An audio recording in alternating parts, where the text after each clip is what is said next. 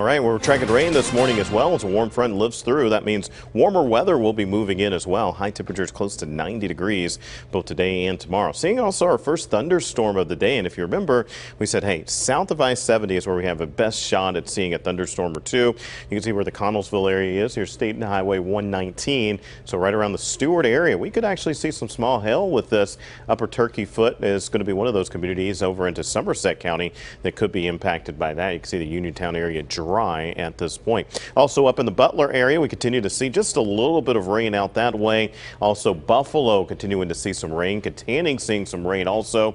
This is going to be light and fairly steady rain, but could be just enough to make those roads slick. You can see State Highway 422 between Kittanning and the Butler area. That's going to be one of those areas that continues to see some pretty decent rain uh, as we're starting off the morning. Now, most of the rain, if we're looking at just rain rates, how much rain you're going to get, it's going to fall in places like Butler, Lawrence, and over into uh, uh, Beaver County. Uh, we'll be looking at, we could see upwards of about a half inch or so of rain first thing this morning. We'll continue to see the rain tracking out. And as we're rolling into the afternoon, rain should be done. In fact, I think really by noon, most of, if not all of the rain should be finished across western Pennsylvania. Not only that, we see sunshine in the uh, afternoon hours. We'll be looking at a high temperature of about 88 degrees. Now, as we're heading into Thursday, it stays hot, but a rain chances will be there as well. In fact, we'll be looking at a couple of lines, kind of waves of rain coming in first thing in the morning, and then that'll start to fill in a better chance for rain uh, later on in the day. We go.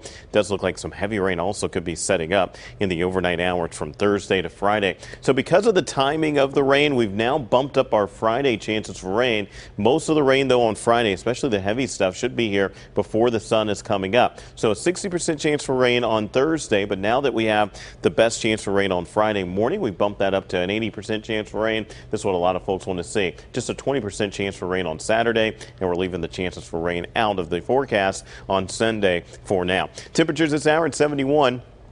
In Pittsburgh, Butler at 70 degrees. They've been seeing some rain over the last 15 to 20 minutes up in the Butler area. Latrobe also at 72 degrees in Westmoreland County.